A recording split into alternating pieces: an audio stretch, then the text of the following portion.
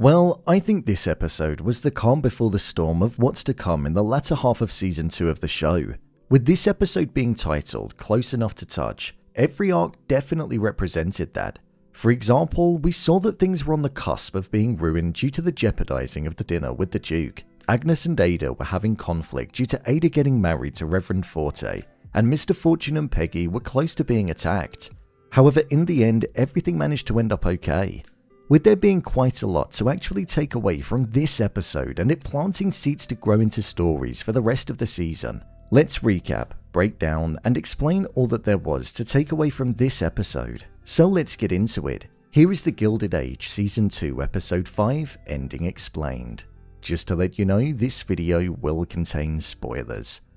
Ada and Agnes's conflict. This was one of the main arcs that was getting the limelight in this episode, and as expected, we saw that the news that Ada had to share with Agnes fell on ears that came back with a harsh attack. Agnes didn't want Ada to get married, and we even saw that a couple of episodes ago, when Ada was expressing her interest in Reverend Forte, she was quite against it and was being passive aggressive towards her sister. When Ada revealed to Agnes that she was getting married, one line that Agnes responded with stuck with me. She said, What do you know about being the duty of a wife? You're a spinster, showing that she was still trying to put her down even in her happiest moment. For those that don't know, a spinster is somebody that's unmarried and considered to be an older woman. So it showed us that Ada being like that worked perfectly for Agnes and her situation. Within this episode, we saw that Agnes mentioned that she wouldn't be attending the wedding and nor would her son Oscar, due to the fact that she disagreed with it. This left Ada in a conflicted state where she didn't want to lose her chance of happiness, but she also didn't want to ruin her relationship with her sister. However, we saw the true side to Ada when she chose to be with the person that she loved and gave herself a chance at living her own life, rather than in her sister's shadow. We saw Agnes went to Reverend Forte's office and was speaking with him, and was expressing her discomfort over the fact that she was soon to be losing her sister. But even in that situation, he wasn't budging and was showing just how much he loved Ada, something that you'd think most siblings and family members would be happy about.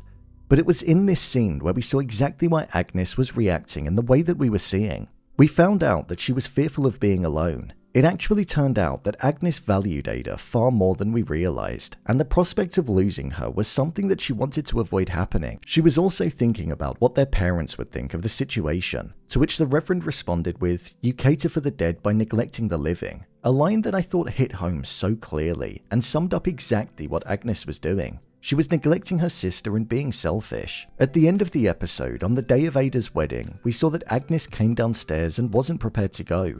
But it was upon Bannister saying to her that he was going to support Ada and that she should do the same, otherwise she'd regret it for the rest of her life, that once Ada was then down the aisle. As the ceremony was about to begin, the doors opened and Agnes walked in and showed her support and sat down next to her family. It was a moment that was really lovely to watch and it did actually evoke some emotion out of me. Seeing how she'd listened to what everybody had said to her and had then realized that she was the person that was in the wrong, something that she didn't often think or realize. The Russells' dinner. This was the other main arm of the episode, where we saw that following Bertha inviting the Duke to stay with her, she organised a dinner for people to attend in honour of the Duke's presence.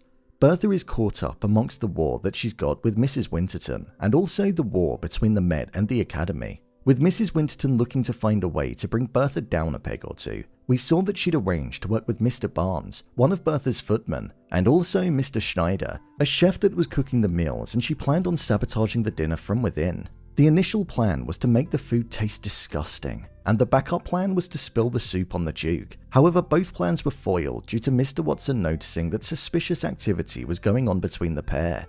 This is something that I think is going to tie into Mr. Watson's narrative of not wanting to leave. We heard George say to him that he'd be missed, and with him being an invaluable part of the evening and him essentially saving it from being disrupted and it being a disaster, I feel that's going to add to the respect that he gets from his colleagues and the Russells, and the fact that maybe they might not want him to leave. There was a line that was spoken in this episode between Mr. McAllister and Bertha where he said, In order to win the war, you've got to bring out your biggest weapons and in this instance, it was Bertha's daughter Gladys. She hoped to pair her up with the Duke, something that would do wonders for her position in society.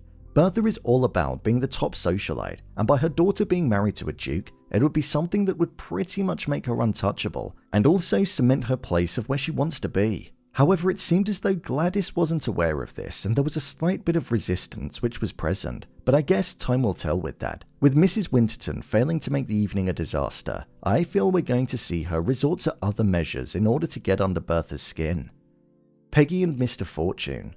This was the most dangerous arc in the episode. Before Peggy went down south, her mother said to her, Don't look at white folk in the eye, don't leave the group, and keep your mouth shut and we saw Mr. Fortune do the complete opposite of that, following us seeing the black community finding a way to improve the way that white people perceived them, and them also bettering their position in society. We saw that there was still some resistance to that progression. Mr. Fortune and Peggy were having dinner, and at the end of the meal, two white men walked in and were speaking to the owner of the restaurant in a way which was extremely derogatory, and it appeared that maybe she was once enslaved by him as he used phrases such as, you know what I like, he was acting as if she was subhuman and like the laws hadn't changed. This caused Mr. Fortune to speak up and push one of the white men to the ground, which then resulted in Peggy and himself having to leave and seek shelter somewhere for the night, before getting on the first train home in the morning. Following the disruption, a mob came out, and they were a matter of feet away from running into them. But luckily, Peggy and Mr. Fortune were undetected. Mr. Fortune's actions were that of somebody that had suffered in the past, and it felt like it was always going to happen. In the previous episode, he was having a heated discussion with Mr. Washington over the fact that he believed that white people wouldn't change. So even though he was standing up for those in the room in this episode, it felt like it was coming. It was in the scene that followed that we saw something which we were all thinking would eventually happen. Peggy and Mr. Fortune shared a romantic kiss together. It always felt like this was going to be on the cards, especially with the dialogue that was being spoken between them and the awkward encounter that they had in the last episode. Larry Russell's discovery. One moment in this episode that I thought was interesting to see unfold was that Mr. Roebling, the person who was the engineer of the bridge that was being unveiled, wasn't actually in charge of the development plans. His wife, Mrs. Roebling, was the brain behind the structure that was set to be one of the grandest in the world at the time. We saw that she lived in silence about what she did, due to the fact that if it were to ever be revealed that it was a woman behind the bridge, then society would treat the amazing masterpiece differently. It was a good way of showing us the lack of opportunity that women had back then, and how they had to lie in order to express their talents. With Larry Russell now knowing, I do wonder if he may spill the news and he could end up jeopardizing the unveiling of the bridge. Cousin Dashiell and Marian, these two characters have been growing closer over the course of the season, and I think that despite the fact that Marian does like Dashiell, there is an ounce of resistance there. We first saw this in last week's episode where Frances was saying how she essentially wanted her to slot into the family, and in this week's episode, when marriage was mentioned, Marian's face turned quite straight as she walked off. Plus, also, when she was speaking with Aunt Ada about Reverend Forte and knowing that he was the one, Marian kind of said, I hope that I know when the time comes for me. So it does make me wonder if she doesn't actually care for Dashiell in the capacity of wanting to get married to him. But I guess that's something we'll see more of as time goes on. George Russell's decision. The final thing in this episode, which I think carried large importance, was around George Russell and the strikes that are looking like they're going to happen from his workers. There was a line which was spoken, which was, If you want revolution, you must pick up your weapons and use them. This shows that a bloody meeting is something which is potentially set to arrive when George faces off against the Union when the strikes happen in next week's episode, something which could go against the Russells if deaths or injuries do occur. Overall review I thought this was a good episode of the show. I thought it followed on from the previous episode well, and like I said, I feel it was the calm before the storm. This time we saw resolution on all fronts, but I don't think that's going to be the case moving forwards.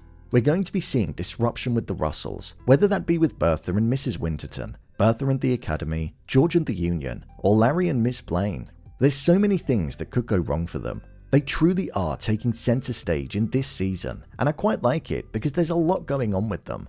I thought the scene in the restaurant in Tuskegee was a powerful one. It showed the danger of what it was like to be a black person in that time and the division that was present in society. Not knowing who to be fearful of and who was against you having your own freedom something which seems crazy in the modern day, so it got that across well.